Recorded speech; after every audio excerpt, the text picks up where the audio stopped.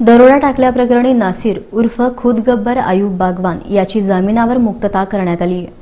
या प्रकरणाची हकीकत अशी की सात जून रोजी रात्री अकरा वाजण्याच्या सुमारास शिवशाही बस क्रमांक एम एच सत्तेचाळीस वाय शून्य तीन शून्य चार या क्रमांकाच्या बसच्या चालकास बाळे ब्रिज सोलापूर इथं अडवून शिवीगाळ आणि मारहाण करून खिशातून सॅमसंग कंपनीचा मोबाईल काढून घेऊन आणि बसची कास फोडली अशी आशयाची फिर्याद फौजदार सावडी पोलीस ठाण्यात दाखल करण्यात आली होती. यातील आरोपी क्रमांक एक नासिर उर्फ खुद गब्बर आयुब बागवान यानं सत्र न्यायालयात अॅडव्होकेट अमोकसिद्ध साखरे यांच्यामार्फत जामीन अर्ज दाखल केलेला होता. सत्र न्यायालयानं आरोपीच्या वकिलांचा युक्तिवाद ग्राह्य धरून आरोपी नासिर बागवान यास पंधरा हजार रुपयांच्या जामिनावर मुक्तता करण्याचा आदेश सत्र न्यायाधीश व्ही जी मोहिते यांनी पारित केला.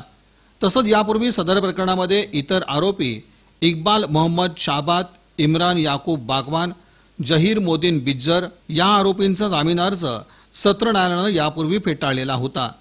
असं असताना देखील आरोपी नासिर उर्फ खुद गब्बर अयूब बागवान यास सत्र न्यायालयानं जामिनावर मुक्तता करण्याचा आदेश केलाय.